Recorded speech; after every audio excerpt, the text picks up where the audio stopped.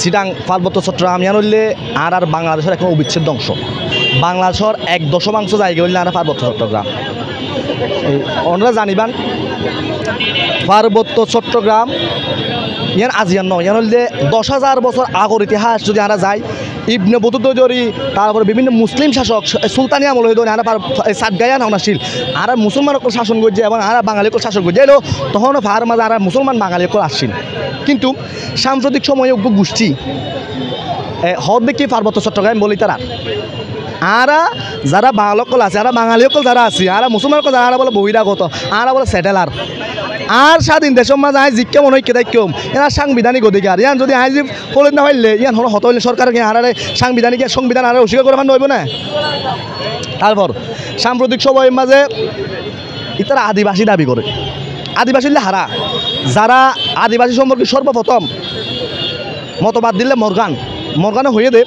আদিবাসী হলে তারাই, যারা ষোলরাতির কালইতে একখান জায়গা মাঝে বসতি স্থাপন করে এবং তার সুনির্দিষ্ট ইতিহাস জানানো যায়, কীভাবে তারা পার্বত্য চট্টগ্রাম আইসে বা একখান জায়গাতে আইসে বা আয়রে তারা ক্যাঙ্গুর বসতি স্থাপন করে তার হন স্পেসিফিক কিনা ভাই? সুনির্দিষ্ট হন তত্ত্ব না ভাই, তারা হইলে কি? আদি, আদিবাসী। কিন্তু আর আর পার্বত্য চট্টগ্রামে যারা আইসে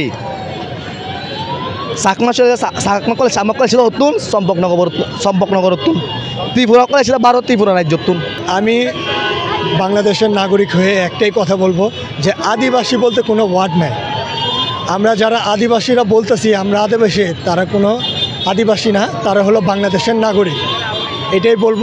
আর আপনারা যারা ষড়যন্ত্র করতেছেন, আপনারা এখনও সময় আছে এই ষড়যন্ত্র থেকে আপনারা চলে যান। কারণ আমরা ছাত্র সমাজ ঘুমিয়ে নেই।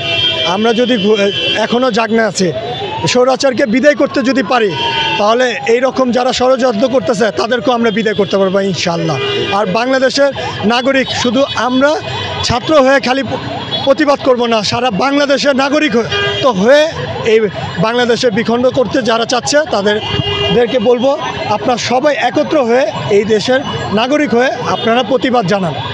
সবশেষে এটুকুই বলা যায়, দেখেন, আমরা বাঙালি।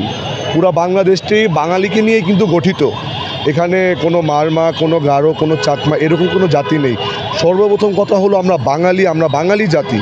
তো আমরা কেন নিজেদের মধ্যে বিধাভেদ তৈরি করব? কেন নিজেদের মধ্যে এরকম একটি ঝামেলা তৈরি করব? দেখেন, এর কারণে কিন্তু অনেক মানুষ হত্যা হচ্ছে, কিন্তু আমরা তো এগুলো কিছু চাই না। আমাদের শুধু এটুকুই দাবি, এটুকুই আশা।